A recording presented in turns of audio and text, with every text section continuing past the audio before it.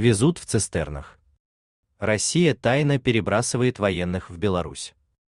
Россия тайно перебрасывает в Беларусь живую силу, используя железнодорожные цистерны.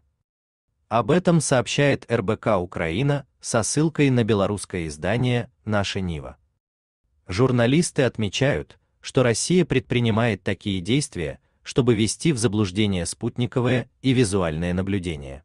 Переправляют ли в Беларусь таким образом или аналогичными замаскированными способами военную технику и боеприпасы, мы не знаем, пишет издание.